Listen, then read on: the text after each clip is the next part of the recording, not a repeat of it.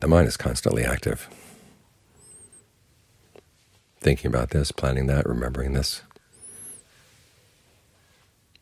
Even when we meditate, it's an activity, but it's a restful activity.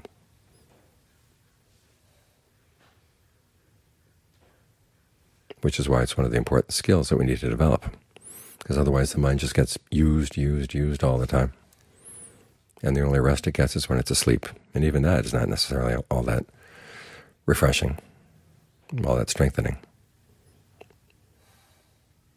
So in order to use the mind well, you need to know how to let it rest with an activity that's a lot less wearing on the mind, and actually improves your strength. Because when you're really mindful, the mind is going to settle down. Mindfulness doesn't mean just passively accepting what's coming along or stopping your mental functions. It means remembering there are things to be done and what should be done right now. And that's a quality you want to develop all the time, so that you make sure that your activities do fall in line with what you really want to do in life. So right now, remember the mind needs to rest. It's a good time to rest. Let, let it just stay with the breath. Keep watch over it. That's the activity of the meditation. Keeping watch, keeping focused, and adjusting the breath so it feels good.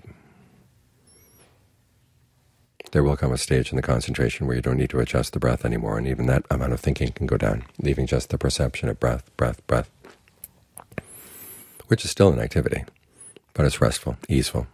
Doesn't require a lot of intelligence, doesn't require a lot of ingenuity or imagination. The imagination gets used when you're doing your evaluation, because you're trying to get the mind to fit in with the breath, the breath to fit with the mind, so that they're snug together. It's like fitting a set of drawers into a cabinet. You put the drawer in, and this little part is too big and this little part is too small, so you shave away the parts that are too big until finally you get to the point where the drawer, drawer fits nice and snugly. And then you don't have to think about shaving anymore. You just use the drawer. And the same with the concentration. You adjust the breath into the point where it's good enough to settle down with. And then you just stay there and protect the mind. And the mind gets rest. At the same time, it's strengthened. This is the advantage of meditation over sleep. Sleep doesn't require any talents at all, any skills at all.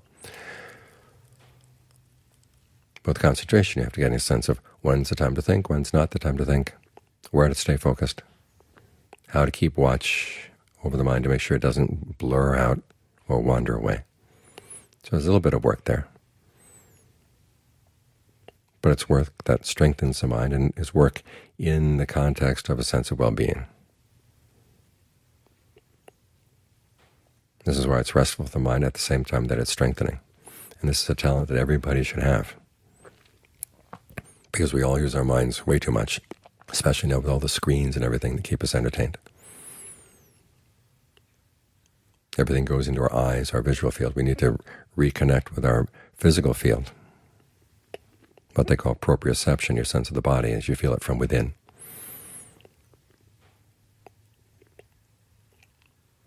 That way the mind gets a good foundation, it has a home where it can rest and gain its strength, relax,